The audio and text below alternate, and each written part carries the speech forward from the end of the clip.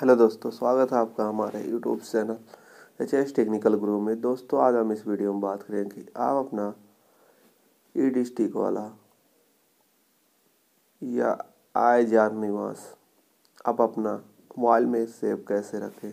रखने के लिए आपको एक ऐप की ज़रूरत पड़ेगी डिजी लाकर आपको उसको इंस्टॉल करना होगा। दोस्तों वीडियो शुरू करने से पहले मेरी एक छोटी सी रिक्वेस्ट है। यदि आप हमारे चैनल पर पहली बार आए हैं तो चैनल को सब्सक्राइब कर लीजिएगा और साथ ही साथ बेल आइकन दबा लीजिएगा ताकि अगला वीडियो का आने वाला नोटिफिकेशन आपको मिलता रहे।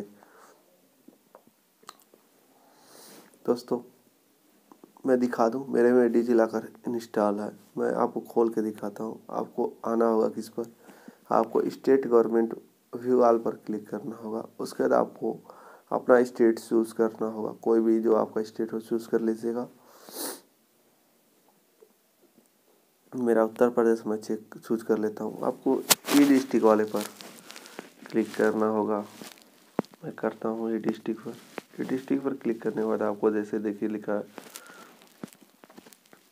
domicile certificate caste certificate income certificate death certificate solvency certificate birth certificate disable personal certificate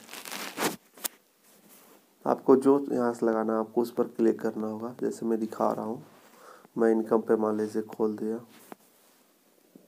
आपको यहाँ पर अप्लीकेशन नंबर सर्टिफिकेट नंबर और एक्सेप्ट करके गेट डॉक्यूमेंट पर क्लिक करना होगा। आपका ओपन हो जाएगा।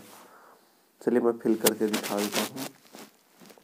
फिल करने के बाद गेट डॉक्यूमेंट पर क्लिक करके छोड़ देना होगा आपको दिखा रहा हूँ, अभी मेरा आ गया होगा। मैं तीनों किया हूँ।